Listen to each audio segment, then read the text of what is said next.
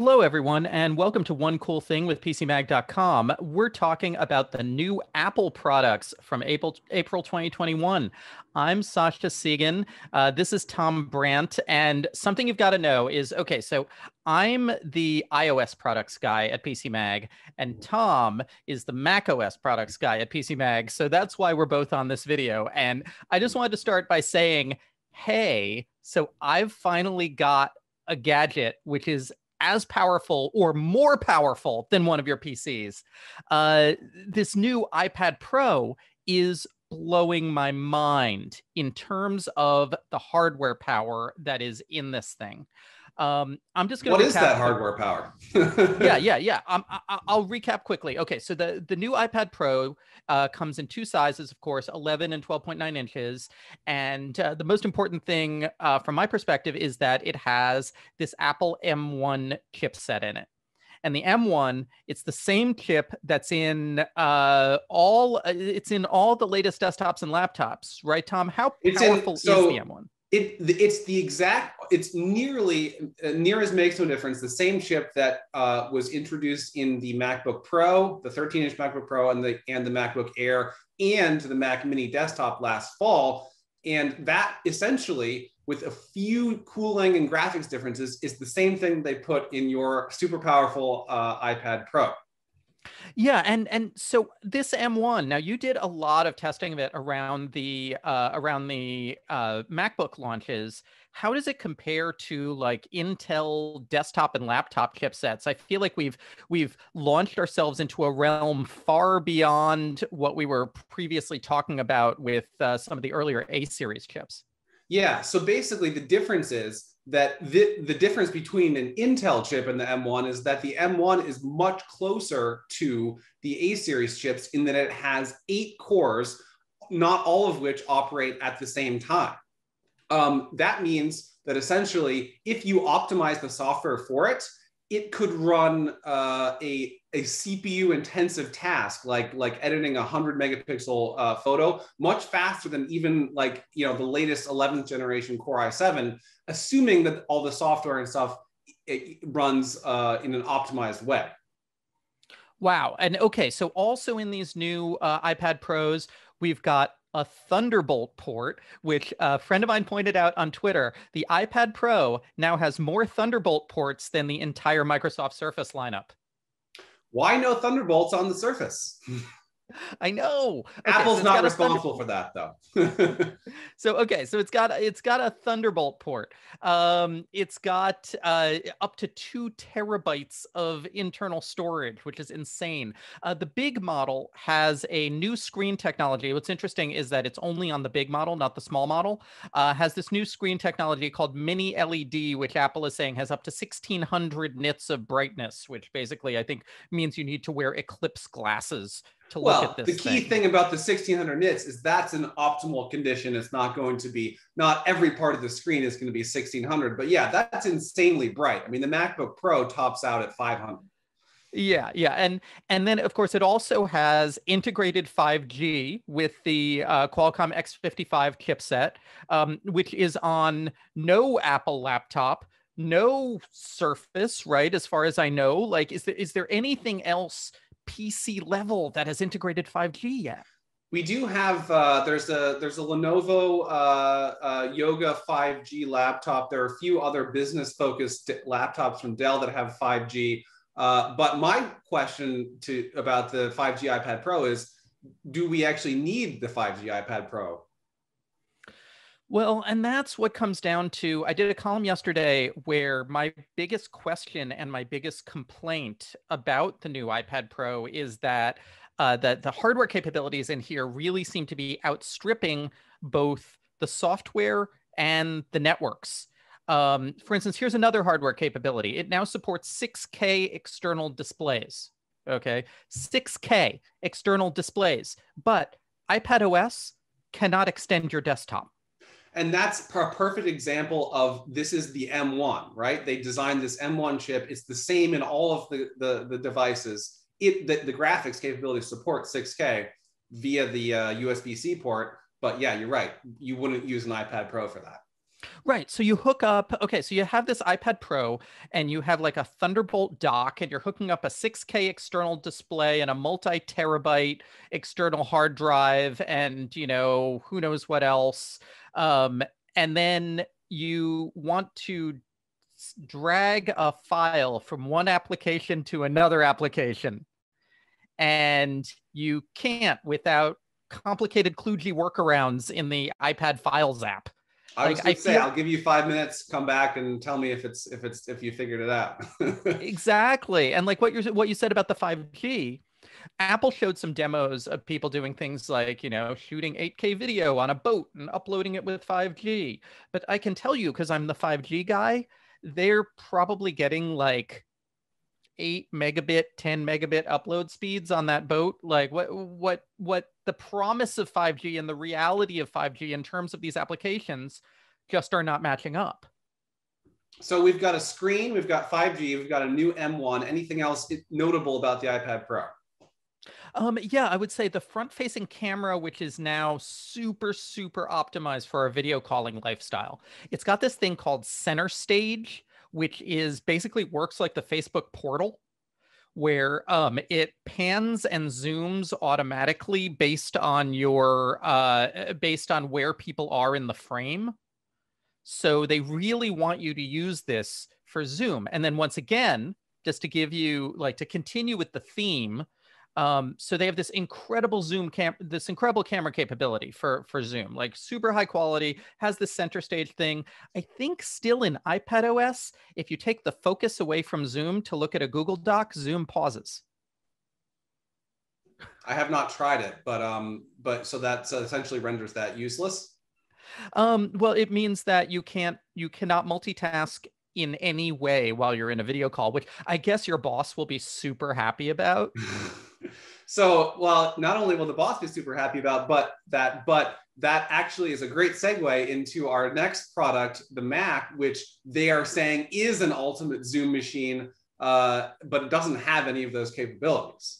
Yeah. So the iMac, so you, okay, so it only has a 1080p uh, webcam at the top. Right. With and it doesn't have that, that center stage thing. There's no center stage, but um, but see, what you have to understand that right that with the iMac, we're coming from and, and pretty much any any Windows or Mac desktop or laptop, cameras have been really, really bad. We're coming from from basically a position of 720p webcams on pretty much everything, including the few all-in-ones that have them. So now they put a 1080p camera, uh, which is essentially full HD resolution into the new iMac and they went one step further by essentially redoing the image signal processor uh, that's that's in the M1, but none of no, but yeah it's not going to follow you around your kitchen. If you set up your imac in, in your kitchen and you have like a huge family facetime with grandma it's not going to follow you around in that really cool way that the ipad will. But it runs the operating system you want to be running to do that Yes, there is, and yeah, so so Mac OS uh, Big Sur still does not have touch support, but you know, if I ever saw a Mac that that that needed touch support and all that the, the, to combine all that multitasking and, and, touch, it's the new iMac because they're it's available in all these different colors. Um, they're saying this is the device for working from home and not just working from home, but like doing yoga in the afternoon, having your kids learn um, but but yet you you know you you can't touch it uh, as you can the Microsoft Surface Studio. Um, so there's a missed opportunity there. Now let's note doing yoga, not Lenovo yoga. they should have introduced the iMac yoga. But but okay, and and also the iMac now can run iPad apps, but the iPad cannot run iMac apps, even though they have the same processor. Right, right. And so that's a bit of a one-sided thing, a one-sided focus on the Mac, which which makes sense for Apple because there's you know PC shipments are up 55%. You know that's what everyone's buying, so they've kind of shifted focus a little bit back to the uh, to their to their bread and butter. But I think the capability to run and like not not a big uh, iPad app, but say a small uh, you know phone style app in the upper right corner of this new 24 inch um, iMac is a great thing. I haven't actually tried that out yet, uh, but I think that that that could be a, a, a very useful part of it.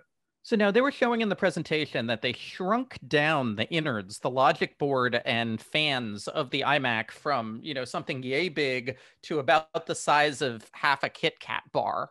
What are they filling the rest of this gigantic iMac case with? Balloons? Well, so it's the screen, right? The the uh, the new iMac is 24 inches, larger than the 20, 21 inch that it replaces, and it weighs about four pounds less, I believe. I think well, three to four pounds less. We're we're talking about like 13 to nine pounds. So the M1 is a huge part of that, right? Because it doesn't require a ton of cooling. Uh, it's all it's an integrated system on a chip.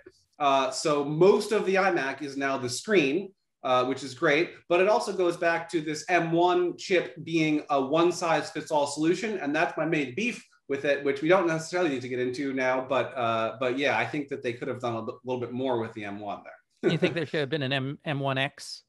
Well, yeah. So so now you have the same chip with with more or less the same graphics capabilities across all these different products. Um, you know that Apple is working on the next generation, but they're also saying for the iMac specifically that the 27 inch with the Intel Core processors is still the iMac for, for creative professionals who need a ton of power. Uh, so we're kind of in a weird, you know, first attempt. Uh, and I would have liked to see maybe they put, uh, you know, a slightly more powerful version of the Apple Silicon for their first attempt in the iMac. Now, I know we were asking this during the launch uh, during the launch event, but I don't know if you've looked at the spec sheet. Does this have any USB-A ports? Basically, if you buy the base 24-inch um, uh, iMac with the 8-core M1 and the 7-core graphics processor, you get a total of two USB-C ports, both of which support Thunderbolt. But that's it.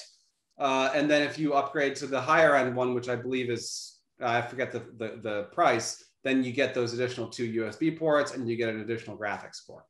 So now, uh, so so this is this is actually a personal question for me um, because my house is made of 2015 MacBook Pros, and I remember six months ago when you reviewed the first M1 laptops, you were like, "This is great, but maybe wait a little while. We got some software issues to shake out. Maybe you should wait for the M2." Okay, six months later, should we jump on the M1? Do things look more mature? I think that one of the last holdouts for many Mac users, and I know that probably some of some of people in your family as well, is the Adobe Creative Suite. Um, that that it's a huge lift. It's one of the main reasons that that a lot of people buy uh, Macs because it works very well, uh, the Mac OS version. Um, Photoshop is now M1 native, which I think is a, is a big reason, a big uh, proponent of that. But um, honestly, for someone who's looking at the MacBook Air, which is the cheap, the cheapest laptop with the M1, uh, I, I, don't really see any good reason to wait for that specific laptop for any for the next whatever the next Apple Silicon is. I think that's it. Um, it, it it's it's it's an incredible first effort uh, and and very different than the iMac, which is kind of like you know a, a entry level version. The MacBook Air is almost as powerful, if not as powerful as the MacBook Pro is uh, with the, with the M1. So I don't really see a reason now, especially that we're six months out from the software, to to not buy it. Okay, so what do you want to hit next? Right. So we did we we do we should briefly mention that that the iPad and the iMac are the big things uh, that Apple announced yesterday. But what about if you lose uh, one of them? Uh, how are you going to find it? Apple now has an answer for that. So am am I the only person who thinks that the AirTags look like giant coin cell batteries? I mean, they're not the the most uh, they're not the most photogenic product that Apple has ever released. Um, but uh, and, and the funny thing is that right that tile is now tile strategy, which, which is to basically embed the tile in other things so you don't see it. Um, right. But Apple is is has this. Well, Apple wants device. you to have that Apple logo on things to make it clear that you're part of the Apple tribe and the Apple group, and it's very, you know, it's it's a it's a very it's it's almost a social network concept. They want you to show that you're an Apple person. I think so, the AirTags. I think the AirTags really need to be seen to be believed. We'll have to try those out and, and share our thoughts with you once we try them out. There's privacy implications, things like that. Um, yeah, yeah, the thing that I think everyone's most curious about is this whole sort of surreptitious AirTag network thing going on, where so the AirTags the AirTags are Bluetooth locators, but also supposedly they will use any other iOS device that they detect in the area to help locate them, which means that if you're wandering around on the street or if your AirTag is wandering around on the street and it passes other random people with an iPhone, it might use those phones to help find its location. Is this entirely yeah correct? that's it's using the find my network um and but as someone who probably won't buy uh an airtags uh thing i don't want I don't. I mean, I don't necessarily want my iPhone to be helping to be constantly scanning for that. I feel like there's battery implications. Obviously, Apple would say that there isn't, and they've, they've thought about that, but that's concern for me. Yeah, yeah, that's that's the that's the biggest question. People also have questions about people about the AirTags being used to stalk people or to bug people, or uh, we'll we'll have to figure this out by getting the AirTags and yeah, we need trying to, we need out. to test it out. Yeah. and then also they they announced a bunch of other little things. There's this Apple Card family thing that just seems to be just seems to be a way to get more people into the Apple ecosystem. Um, and there's a premium podcast subscription, which really just seemed to me to be there, there's a big trend in the world right now and in the tech industry around audio content. Um, Clubhouse, Discord, Twitter's Clubhouse clone, Facebook's Clubhouse clone, everybody else's Clubhouse clone. I saw a joke about Excel having a Clubhouse clone in it.